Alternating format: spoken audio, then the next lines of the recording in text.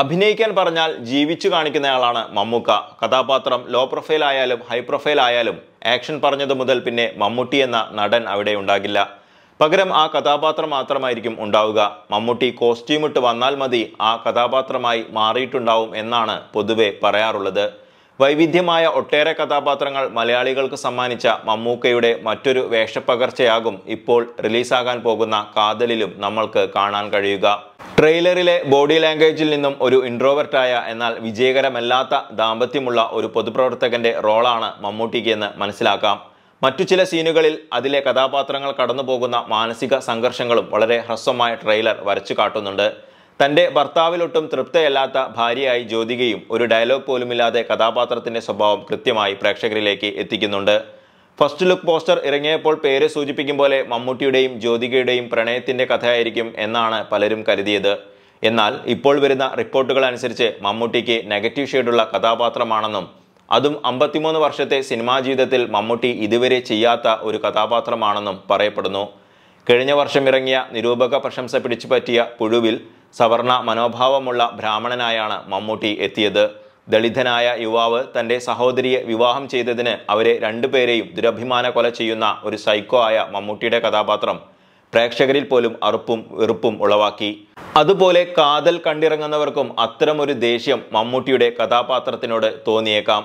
കാരണം ഹോമോസെക്സൽ എന്ന ലൈംഗിക വൈകൃതമുള്ള ഒരു പകൽമാന്യനായാണ് സിനിമയിൽ മമ്മൂട്ടി പ്രത്യക്ഷപ്പെടുന്നത്. സ്വവർഗ രതി കോടതി അംഗീകരിച്ചതാണ്. പക്ഷേ അത് സമൂഹത്തിലും കുടുംബ ബന്ധങ്ങളിലും ഉണ്ടാക്കുന്ന പ്രത്യാഘാതങ്ങളും അത്തരക്കാരെ വിവാഹം ചെയ്യുന്നതിലൂടെ ജീവിത പങ്കാളികൾ നേരിടേണ്ടി വരുന്ന അപമാനവും മാനസിക സംഘർഷങ്ങളും സിനിമയിൽ ചർച്ച ചെയ്തേക്കാം. സിനിമയുടെ ഒരു പോസ്റ്ററിൽ മമ്മൂട്ടിയുടെ ഹൃദയത്തിൽ നിന്നും പുറത്തേക്ക് കടന്നു വരുന്ന ജ്യോതിക ഡിവോഴ്സ് വാങ്ങി കുടുംബ കോടതിയിൽ നിന്നും പുറത്തേക്ക് വരുന്നതിന്റെ ചിത്രീകരണമാണെന്നും സമൂഹ മാധ്യമങ്ങളിൽ ഒരു ശ്രുതിയുണ്ട്.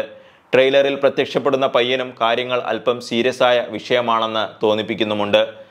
പറ്റുന്നില്ല. കുട്ടികൾക്കെതിരെ ലൈംഗികാതിക്രമങ്ങൾ പെരുകിക്കൊണ്ടിരിക്കുന്ന സാഹചര്യത്തിൽ സിനിമ ദേശീയ അന്തർദേശീയ തലത്തിലും ചർച്ച ചെയ്യപ്പെടാൻ സാധ്യത ഏറെയാണ്. സിനിമയുടെ പേര് കാതൽ എന്നാണ്. അതായത് പ്രണയം. അത് ആർക്കും ആരോടും തോന്നാം. അവിടെ പ്രായമോ സൗന്ദര്യമോ നിറമോ ജാതിയോ മതമോ ഭാഷയോ ദേശമോ ഒന്നും പ്രശ്നമല്ല. പക്ഷേ ഒരേ ലിംഗത്തിൽപ്പെട്ടവരാകുമ്പോൾ നമ്മുടെ സമൂഹം മൂക്കത്ത് വിരൽ വയ്ക്കും. പശ്ചാത്യ സമൂഹം എന്നോ അംഗീകരിച്ചു വിട്ട വിഷയം. പക്ഷേ നമ്മുടെ സമൂഹത്തിൽ ഇപ്പോഴും പ്രത്യക്ഷത്തിൽ അംഗീകരിക്കപ്പെട്ടിട്ടില്ല. തന്റെ അച്ഛൻ അല്ലെങ്കിൽ അമ്മ സ്വവർഗരതിക്ക് അടിമയാണ് എന്നറിയാൻ ഒരു മക്കളും തിരിച്ച് മാതാപിതാക്കളും ആഗ്രഹിക്കുകയില്ല അംഗീകരിക്കുകയുമില്ല. ഈ കള്ളം പറയാത്ത എന്റെ അപ്പനെ ഇഷ്ടം. സ്വവർഗ രതിക്കാരെ ആ വഴിക്ക് വിടേണ്ടതിന്റെ പ്രാധാന്യത്തെക്കുറിച്ചും ഒരുപക്ഷെ സിനിമ ചർച്ച ചെയ്തേക്കാം.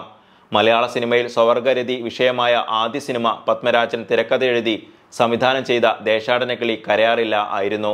മോഹൻലാൽ കാർത്തിക ഷാരി എന്നിവർ പ്രധാന വേഷത്തിലെത്തിയ ചിത്രം സെക്സിനെ കുറിച്ച് പറഞ്ഞില്ലെങ്കിലും രണ്ട് പെൺകുട്ടികൾ തമ്മിലുള്ള ആഴത്തിലുള്ള സൗഹൃദത്തിന്റെയും പ്രണയത്തിന്റെയും കഥയായിരുന്നു പറഞ്ഞത്. പിന്നീട് സ്വവർഗരതി പ്രമേയമാക്കി ശ്രദ്ധ നേടിയ ചിത്രം ബോബി സഞ്ജയുടെ തിരക്കഥയിൽ റോഷൻ ആൻഡ്രൂസ് സംവിധാനം ചെയ്ത പൃഥ്വിരാജിന്റെ മുംബൈ പോലീസ് ആയിരുന്നു. കരിയർ പീക്കിൽ നിൽക്കുമ്പോൾ അത്തരമൊരു വേഷം സ്വീകരിക്കാൻ പൃഥ്വി കാണിച്ച ധൈര്യം അന്ന് ഏറെ പ്രശംസ നേടിയിരുന്നു. വ്യത്യസ്തമായ വേഷങ്ങൾ ചെയ്യാൻ വെമ്പൽ കൊള്ളുന്ന മമ്മൂട്ടിയും വിവാഹശേഷം സിനിമയിൽ തിരിച്ചെത്തിയതു മുതൽ നായികാ പ്രാധാന്യമുള്ള വേഷങ്ങൾ മാത്രം തിരഞ്ഞെടുക്കുന്ന ജ്യോതികയും ജിയോ ബേബിക്ക് ഗ്രീൻ സിഗ്നൽ കൊടുത്തിട്ടുണ്ടെങ്കിൽ അവർക്ക് രണ്ടുപേർക്കും തകർത്ത് അഭിനയിക്കാനുള്ള ഒരു സ്പേസ് ഉള്ളതുകൊണ്ട് തന്നെയാണ്. ഗ്രേറ്റ് ഇന്ത്യൻ കിച്ചൺ എന്ന ഏറെ ചർച്ച ചെയ്യപ്പെട്ട സിനിമ സംവിധാനം ചെയ്ത ജിയോ ബേബി ഇതാദ്യമായാണ് തന്റേതല്ലാത്ത ഒരു തിരക്കഥ സംവിധാനം ചെയ്യുന്നത്. ആദർശ് സുകുമാരനും പോൾസൺ സക്രിയയും എഴുതിയ കഥ മമ്മൂട്ടിക്കും ഏറെ ഇഷ്ടമായപ്പോൾ മമ്മൂട്ടി അവതരിപ്പിക്കുന്ന കേന്ദ്ര കഥാപാത്രമായ മാത്യു ദേവസിയുടെ ഭാര്യയായി നായികാവേഷം ആർക്കു നൽകാം എന്നതായിരുന്നു കൺഫ്യൂഷൻ. നായകനോളം തന്നെ പ്രാധാന്യമുള്ള വേഷമായതിനാൽ ഇരുത്തം വന്ന നടിമാർ തന്നെ വേണമായിരുന്നു. അങ്ങനെ മമ്മൂട്ടി തന്നെയായിരുന്നു ജ്യോതികയുടെ പേര് സജസ്റ്റ് ചെയ്തത്. എന്തായാലും മമ്മൂട്ടിയുടെയും ജ്യോതികയുടെയും ഒരു ഔട്ട്സ്റ്റാൻഡിംഗ് പെർഫോമൻസ് പ്രതീക്ഷിച്ചുകൊണ്ട് നമുക്ക് ധൈര്യമായി കാതലിന് ടിക്കറ്റ് എടുക്കാം.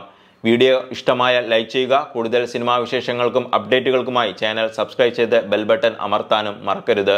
അടുത്ത ഒരു വീഡിയോയുമായി വീണ്ടും കാണാം. അതുവരേക്കും ബൈ.